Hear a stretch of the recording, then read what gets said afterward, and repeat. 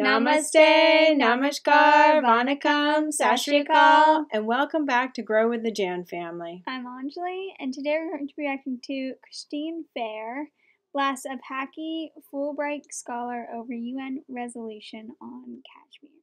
Yes, so we did uh, Christine Fair's kind of a little bit of background, Background, yeah. about Kashmir and um, Jammu and Kashmir and Article 370 and 35A. We were kind of um, just giving ourselves a little bit more information about it. And um, so after doing that, there was a big, people wanted more. And so I know we're not really, we try not to be a political channel.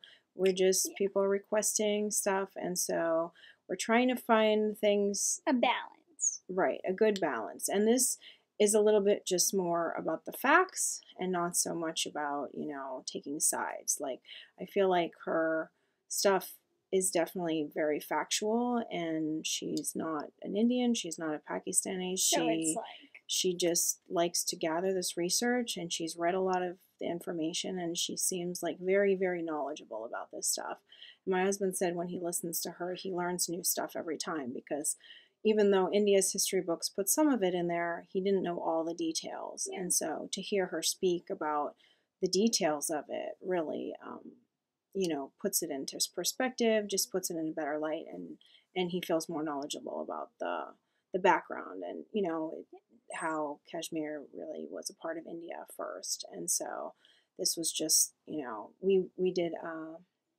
Akubar's I'm gonna chop his name Syed Akubardhan yes. um, UN speech, and he did amazing just defending India. And so we, you know, this is just a little bit more of us learning more. I know it's a hot topic, you know, in the news and, and everywhere in India. So we just wanted to, you know, spread a little bit more knowledge out there. And Yes. uh, Christine Fair seems to have a lot of it. So we're going to listen to her speak. Go ahead. Okay, I want to call on this gentleman right here. You want to give me Thank you. My name is Hitesh Ahmed. I'm a Fulbright scholar here in the United States. Uh, of course, I haven't read the book, but my observations are based on the presentation made by Christine. Uh, unfortunately, I found some of the, uh, there is a lot to debate about, but I understand I am a participant only. I can make only use of limited time. I found some of the, uh, some of the arguments were very selectively used, and only one side of the picture was presented. For example, a couple of examples. Uh, you said Kashmir, Pakistan has no legal, legal basis uh, on, on Kashmir. I don't understand what sort of legal basis should we have. You have mentioned about the UN resolution. You have mentioned that India went to uh, a Security Council, and Security Council said that let's the let the Kashmiris decide. Uh, let let me let us have a plebiscite there. So that's a legal basis. Go and ask the Kashmiris with whom they want to go. Uh, my second observation uh, yes, we had a beautiful lawn back there in our, uh, in our homeland, but it was uh, late 1970s, at the peak of Cold War, Soviet Union just entered Afghanistan, and here was the CIA and the Americans. They went uh, to Pakistan and Afghanistan, and fortunately, incidentally, they found an ally in the form of ISI or whatever, and they jointly created this jihad narrative. Kashmir was is not the only thing which is behind those groups which you, you are calling the jihadis and terrorists. In fact, Kashmir has always been there. The jihadis, the rise of jihadis has been after the uh, Soviet Union entered, and then CIA went there and IS, worked with ISC, and the jihad narrative was brought, groups were made and fought with, and then the Soviets were pushed out. Soviets were pushed out, and then US left uh, Pakistan and Afghanistan in the lurch, and Afghanistan fell into the hands of the warlords. All right, So- so, you need to read my book because every single thing that you just said is fictional. Let's first begin with the UN Security Council Resolution 48. Sir, have you read it? Have you read? No. Okay, so you fir- the first thing I'm going to encourage you to do is go on to the UN Security Council's website and read that fabulous resolution that every Pakistani points to, but which not a single one has read. I also then want you to take the actual version from the UN Security Council, and then I want you to compare that to the claims made by Pakistan's permanent representation to the UN. And you're going to understand your confusion, sir. So the resolution is actually very clear. There are three steps. They were sequential and they were conditional. The very first step was that Pakistan was supposed to demilitarize to the satisfaction of this UN body that was to be established. Then, conditional upon the UN being so satisfied with this demilitarization, India was also supposed to demilitarize with a presence being permitted to defend itself against Pakistani aggression. The third, having both of those two steps taken place to the satisfaction in sequence to this preferences of the UN, then the plebiscite would be held. So all those Pakistanis that are so upset about the plebiscite that never happened, they have their own government to blame because Pakistan never fulfilled the first necessary but insufficient condition. So I'm going to encourage you to actually read that before you ever make such a fool of yourself again by presenting it in public, right? So just do yourself a favor by reading the darn thing. Second, I want you to also learn a little bit about your country's Afghanistan policy. Sir, do you know that it was Zulfikar Ali Bhutto that began the ISI cell in Afghanistan? That in fact it was Zulfikar Ali Bhutto who began setting up what became the Seven Donkeys before the Soviet Union even crossed the Amu Darya. Did you know this, sir? No, no, no. I want you to answer my question. Did you know this, sir? No.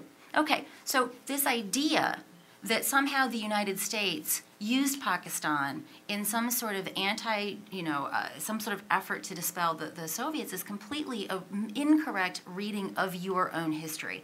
Zulfikar Ali Bhutto, after King Zahir Shah was ousted, and Daoud came to power and began um, implementing pro Soviet policies, driving the Islamists into Iran and Pakistan, respectively.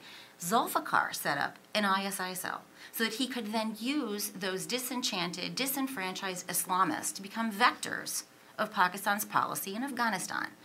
Did you know that we first sanctioned Pakistan in April of 1979 because of advances made in its nuclear weapons program? If we were so interested in sucking them into our evil jihad designs, we sure did make that difficult for ourselves. Because when the Soviets did finally cross in, we actually had to, to do a bunch of maneuvering to get a waiver. And did you know that the first monies did not go into Pakistan until 1982 because of that uh, requirement to get a waiver?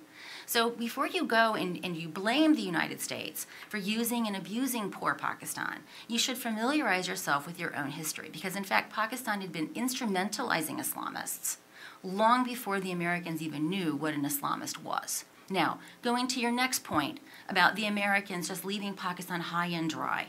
Well, this comes to, and Steve Cohen is here. I'd like to hear him talk about this. Let's talk about the Pressler Amendment right? The Pressler Amendment was actually designed so that Pakistan could continue proliferating while we continued arming you, right? Because we'd first sanctioned you in April 79. Everyone understood the name of this game.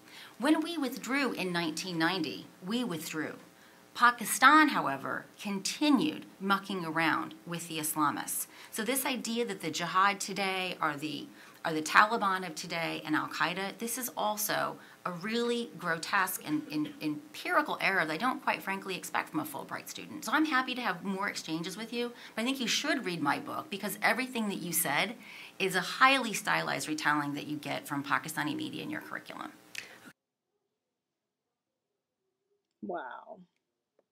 She really knows her stuff, right? Yeah. And like my statement to her, and I think it's her statement to herself, she's all facts and no fiction. So she knows when people are telling like fiction things, but she knows all the facts so she can like restate them and Right. And kind of defend. Like yeah. my husband said she you know really takes the facts into consideration and you know she has done some stuff on India that she hasn't agreed with and this is something she believes Kashmir is part of India so she's not pro India or against Pakistan she is definitely looking for the facts. She's definitely pulling out like this the you know the government papers and saying like this is this is the three things that they were supposed to do and they didn't do them and so this didn't happen you know? And so she definitely goes through all the stuff and kind of breaks it down um, so people understand why why didn't this happen you know? And and like he she's saying not it's not his fault No, because that's what he learned in his school. in his school if he grew up in pakistan which is what it sounded like he learned this stuff through Pakistani media and through the curriculum. And, it, and it's not the only country that does this. I Yeah. believe a lot of countries make their history books for the children to learn the way they want them to know about the Their history of their country. Yeah. Even They my don't want to husband, know bad stuff about their right? country. They don't want to tell too many bad things about their country, but they they kind of tweak the facts a little Mhm. bit to be what they want the children of their country to know and grow up and learn. Like my husband said, he watches this and and some he's amazed at some of the stuff she says that he didn't know. Like he didn't really know that, you know, when Jammu and Kashmir at the beginning, like they wanted to be their own state. And you know when pakistan started to attack they went to india and said okay we'll be part of you if you help us defend ourselves. And that's how that happened. And he's like i didn't realize there was literally a signed document that said like we were going with india and but pakistan was attacking. And then they they ended up getting some of india. And so you know we are not trying to be political and we're not Yeah. trying to say Pakistan's wrong and India's right.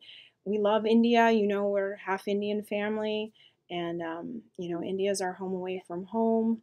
But, and we love the diversity of it. And I think that's where Pakistan needs to work on some of their own personal stuff before they kind of go and attack and try to get bigger than they are. Yeah. Like they need to kind of work on getting a better economy, better jobs, and just, you know, you know, welcoming people of from all faiths. I know that's a big thing there, and then we did another thing on that Yeah. that they weren't really um, being humane to people of different faiths. So that it just kind of get your own country. You know, don't start talking war in other countries. You know, Yeah. we Gandhi is our savior Inspiration. inspiration and uh, peace is always the answer. And i love uh, syed akibardin's talks not terror. Yeah.